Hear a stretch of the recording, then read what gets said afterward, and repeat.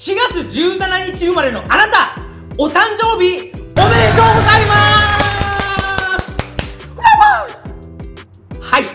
えー、お花大好きお花くんこと神宮寺しまるです。